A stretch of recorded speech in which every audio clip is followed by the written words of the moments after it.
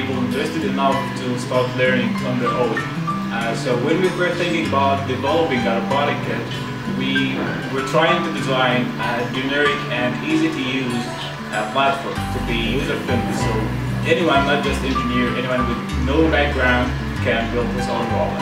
And when people get comfortable enough with this platform, uh, they can edit and they can add more because the platform is uh, open source so anyone can add its feature.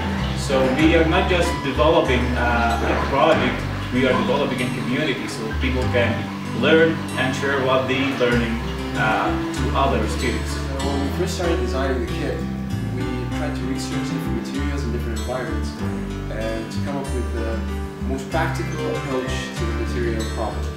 So we started doing our research and we found that plywood is available almost anywhere in any practical environment. And as such, we designed the kit, we designed the robot using mostly plywood, which allowed for greater flexibility and manufacturability in almost all practical environments. As it can be cut with almost any cutting tool, uh, we decided using a laser cutter which allowed for greater precision, and as such we used the press fit feature, which is a design feature that allows the entire robot kit to be assembled modularly and without using without the use of glues, fasteners, or any external adhesive. And as such, the kit, the kit can be manufactured in almost any environment with any tool and designed to fit almost any uh, application. And we're still developing the platform, and the new platform will encompass even more features and more tools.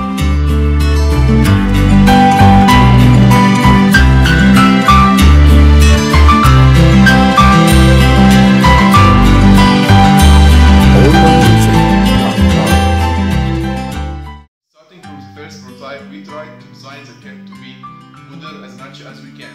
The electronic system is designed to be compatible with many sensors and components, and it's also Arduino compatible to make anyone use it. Uh, we have a standalone version that doesn't